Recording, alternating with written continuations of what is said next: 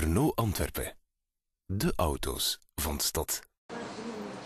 De terug naar schoolacties en posters zijn ondertussen al niet meer te tellen. 1 september komt met rassenschreden dichterbij en dus moet er van alles gekocht worden voor het nieuwe schooljaar. Ze hebben van alles nodig, dus uh, we hebben al heel wat gekocht. Uh, lijmstiften, wat hebben we nog allemaal gekocht? Kaften, gommen, inpakpapier. Uh, ja, boekentas, de persoonlijke spullen eigenlijk. En dan per vak ja, wordt dat dan achteraf wel door de leerkrachten zelf meegedeeld. Hè. We hebben eigenlijk al uh, een paar dingen gekocht al uh, in juli. Zo de laatste kaftjes nog. Uh, tintenkiller, een paar kleine kaftjes, inkpatroontjes. Maar niet meer echt te grote inkopen dus.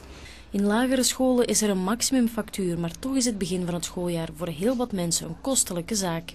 Ja, ik heb vier kinderen, dus dat is toch wel een hapje uit het budget.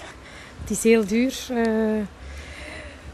het is nu nog maar eentje dat naar school begint, dus tweede zal nog aan. Ik weet niet wat dat dan gaat zijn binnen een paar jaar.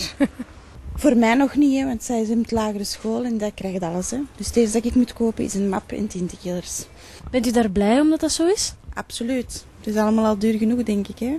Kleedjes, schoentjes, hè. dat is uh, al een kostelijke affaire. Dus het is goed dat we dit alleen moeten kopen.